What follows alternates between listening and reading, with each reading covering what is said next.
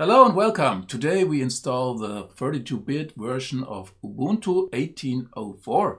If you want to know how to get the ISO of this 32-bit version, please check out my video. So let's start. Here you can see the installer boot menu. The first thing you want to do is to select a language. Now in my case it would be German, but for this video I choose English. Next, we will select our time zone. If I would uh, install it for me, I would not choose United States here, but for this video, I leave it as it is. But I want to use my German keyboard, so I don't choose English. You choose what you like. This is the network. You have to wait a little bit. The, the host name, I don't change it now. We go to continue. Don't forget to check this box with the arrow keys. And now we have to find a mirror for downloading all the software we need. And I choose a mirror in Germany because it's faster. And you choose a mirror that fits best for you. And here it is. This is the best mirror for me. I continue here. Don't need that. We have to do nothing here. We only have to wait until this process is finished. So now we have to add a name for the user. Um, let's, let's say I'm Joe. And the username for the account, yes, it's Joe. And now a password. Uh, I don't want to show the password in clear now because otherwise you would see it, but you can do that.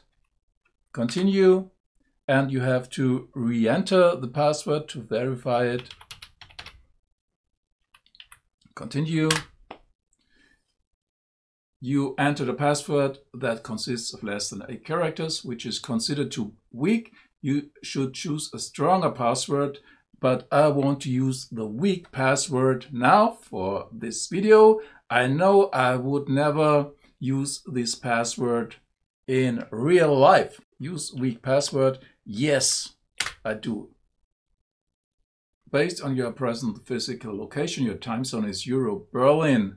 Okay, is this time zone correct? Yes, it is. So um, now we can choose if we want a guided installation, the partitioning method.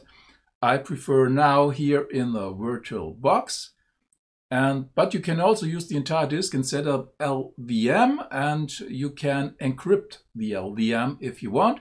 And you also can partition it manually if you want to change something in your partition table. For example, if you want to have a separate home partition. That makes sense. But for now, I make a guided use entire disk installation. You can do it as you like. You can see I have 40.5 gigs here in my VBox. Now Ubuntu asks me if I want to write the changes to the disk. Is this the right disk? Please check that because all what's on that disk will be deleted after you click yes. Please be sure that this is the right disk before you click yes. Now we click yes. And now you can see it's installing the base system. Well, I'm back when this is finished. After the installation of the base system, you can choose if you want to install security updates automatically. Default is no automatic updates. And now you can install additional software. For example, you can install another desktop, Kubuntu Desktop or Kubuntu Full. You also can choose a vanilla GNOME desktop if you like that.